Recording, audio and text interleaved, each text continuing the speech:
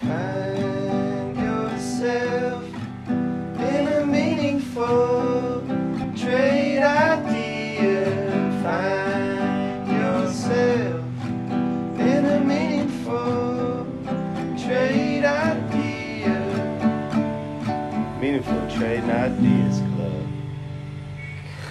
part of this job is psychology as well. I'm a big, big fan of behavioral economics and and the reason people are so scared to invest is you're you feel the pain of losing a dollar three times more than you enjoy making a dollar. So if I make if you make one dollar, you're happy. If you lose one dollar, you are depressed.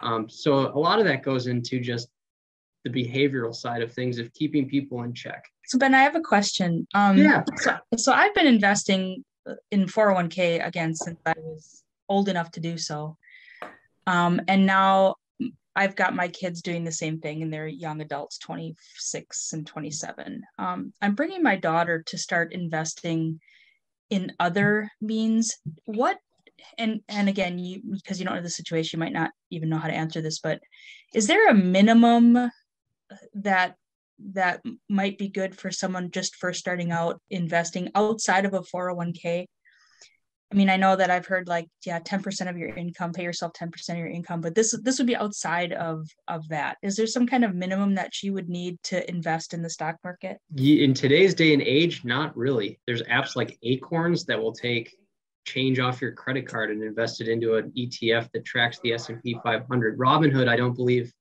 has any minimum. Firms like ours tend to have some types of minimums but for a young adult getting started and investing no there's um, there's really not a minimum what i would suggest is one if she's going to use that to buy a house someday or invest in retirement there's different vehicles she could look at um, outside of her 401k, a Roth IRA is a separate retirement account that grows tax deferred and is taken out tax free after the age 59 and a half. So all of the earnings she makes in that account, she would never have to pay taxes on if she meets two criteria. She has it for five years and doesn't touch it until she's 59 and a half. Otherwise, in just a regular brokerage account, things like Robinhood, TD Ameritrade, Charles Schwab, they have no minimum zero fee trading. I encourage you all to really, what I'm advocating here is for becoming financially literate, being uh, the mindset that you want to explore, to experiment a little bit, get educated, sit down with somebody like Ben and talk to that person about what you want and really actually like make your goals serious as he's talking about it'll work best for you if you have a goal in mind. And sometimes that goal that you have at 60 can become a goal that you reach at 30 um, but it takes some planning you know because become of that mindset that it's the who not how. So it's not always a question of how am i going to do it but who is going to help me? Who's going to help me get there? Who's going to help me get those options? It's very rewarding to to help people reach their goals when you can tell someone they're ready to retire when you can say that you've paid for your daughter's education it's extremely rewarding to help people achieve what they've worked so hard to achieve and just put them in the right direction. And i wanted to add one more thing to katie for your daughter's situation about investing and, and getting started. What i would say is is start with something that's manageable um, and start you can always increase your investment but can it, it can put a bad taste in your mouth if you do a large investment and all of a sudden you need to replace something on your car and you have to pull it out and the market unexpectedly fell and now you're down on your investment and you've put more in than you got. So you can always increase it over time but start manageable start small and increase it from there. You talked about employee matches. If you work for somebody right and they offer you a program what should you do about that when you're getting started with investing and, and you start with an employer that offers some type of employer employee contribution plan, whether it's a 401k, a 403b, a 457, a simple IRA, first place you want to start saving is at least achieve your employer's match. If they offer a 3%, 3% match, put aside 3% because you're losing out on free money. You're losing out on an equal dollar for dollar contribution to your future. Um, and I, you may think, oh, I can't afford 5% of my paycheck. Well, they're giving you an additional 5%. They're doubling your money almost instantly. So when you're talking about starting for retirement and that long term savings goal, at least get the money that's on the table. We, we're, we're talking a lot about investment, right? And we talked about decision paralysis. Last week, We are talking a lot about Jim Kwik and his book, um, limitless. And I thought this, I wanted to kind of follow up on some things from that if I could. And you guys feel free to jump in with any comments, thoughts, ideas. You know, this is the trading club, so trade trade some ideas here. So Jim Kwik talks about a guy named Edward de Bono, okay? And he developed a tool called the Six Thinking Hats to help you look at a problem from six different perspectives. Right? I'm using Edward de Bono at work right now. That's crazy. Is that right? Who is that? Who? Uh, Ed de Bono, the the six thinking hats. We're using oh, that. No. Yeah, who's talking? Sorry. Katie, sorry. okay, how are you using it at work? Can you share? Um, just uh, so from my role as a business analyst, I work with a bunch of people, right, that from all different aspects of the business, and to put on each one of these different hats, we're depending on number one where you are in the project, number two who you're discussing certain portions of it with. So this is fantastic. Cool. Yeah, I mean that's awesome. I mean, and feel free to help help explain this uh, because it was a concept that was new to me this week as I was reading about it. And um, what I'd actually like to do is get uh, like a ball cap, like each one of these, and as I go through the process of analyzing things, right? So, you know, you kind of have to visualize yourself putting on a hat. And so there's these different colored hats. You got white, red, black, yellow, green, and blue.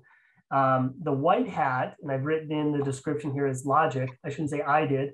Um, our wonderful uh, creative artist, uh, Eat Well with L, uh, put this together for me. So the white hat um, is the hat of logic. And I'm just going to read from, from what I'm reading. It says, when you wear the white hat, ask yourself, what is the information available? What are the facts? How can I look at this objectively? And to help remember that in the process, because you're not always going to have these hats lined up as you tackle an issue, right? You want to think of the white hat as like a scientist in a white coat, kind of gathering the facts and figuring out what's there. The red hat is about emotion. So when you're uh, coming up to a problem or a puzzle, as it might be a better way to say it, you want to ask yourself, how do I feel about this? What emotions am I feeling about this? Um, what is my intuition telling me? Intuition. Steve Jobs was huge on intuition. Steve Jobs says your intuition always somehow knows where you're supposed to go. All right. Um, when you think of the red hat, you want to imagine a fire, right? Because emotional fire that you have. Okay, the black hat, put yourself, put a black hat on for a minute. That's the critic. Okay. And when you wear the black hat, you ask, what could go wrong? Why won't this work? Why do I need to be cautious? So those are all the objections that come up, right? Like, so Ben, for like investing money, right? The, oh my God, I'm going to lose a dollar. I'm going to lose all my money on this, right? It's okay to think that way. You should be. To remember the black hat, they say, think about the black robe of a judge. All right. The yellow hat's about optimism. So when you have a puzzle to solve, ask yourself, what could go right? What are the benefits? What's the upside? Okay. For me, when I have that going on in my head, I, I'd say there's a lot going on for me between the yellow and the black hat. It's the yellow gets me initially, it gets me into then, you know, like what could go right. Then I get emotionally excited about it. Then somehow that black hat comes in. It's like, that's not going to work. That's not going to work. That's not going to work. That's the resistance. So for me, I, I think I need to spend a little more time on optimism. Sometimes we actually fear being successful. We know what the benefits are, what the upside is, right, Ben? How many times do you tell people, put your money in now continuously and you'll be fine? And then they don't do anything. They're almost afraid that it won't work and they, they tend to go to the critic. So the yellow hat, imagine the sun. Uh, the green hat is the creativity. When you wear that hat, ask, how can I be creative? What are the possibilities? Is there a different alternative I'm not considering? Katie, I think you were asking some of those questions, right? Does it just have to be this one money investment vehicle or could it be several? Um, the green hat is imagine green grass coming up. So get creative. How can I have a relationship with money? How can I make money? How can my children make money? And uh, and come back to this whole making money thing in a second. Blue hat is about the manager. When you wear the blue hat, listen to the other hats, zoom out. Okay, put that blue hat on, zoom out, think about the big picture, and then make your final decision. The blue hat, think about a blue sky or a blue ocean. Okay, that's like, you know, when you just zoom out and, and you really think about it. Gotta love it. Okay, guys, that's a Meaningful Ideas Trading Club for this week, August 12th, 2021. Ben, thank you so much for being here and anyone else watching live on Facebook today. Um, and for all you folks that came into the room and contributed, um, we'll see you next week.